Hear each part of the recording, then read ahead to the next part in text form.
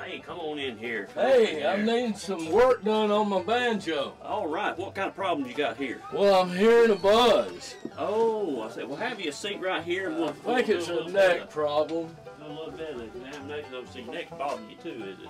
Uh, well, yeah, yeah, my, yeah, I think it's a neck Yeah. problem. But, Yeah. uh, but I think probably my fingerboard is. uh, got a buzz to it. Yeah, so you No, my, my banjo. your banjo. My banjo. It's, it's got a buzz to it. And I'm, So, so, I'm- so I'm- you're having some buzzing in your ears. Right. I'm on my banjo.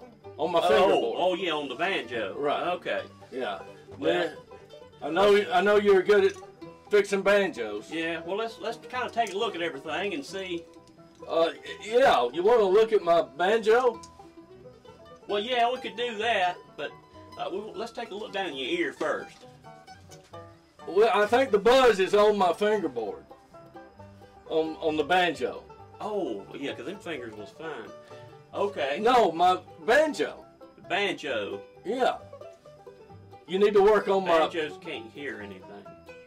Well, I hear it though, Oh. and I, I'm hearing a buzz Well- coming off of my fingerboard. All right. Well, we're gonna have to check your reflexes. It may be the frets. I'm, I'm, I'm, Oh, yeah. Well, you certainly don't want to fret about that.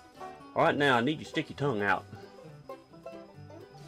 So let's we, let's do a little bit of a reflex test. okay. All right. Not my knee.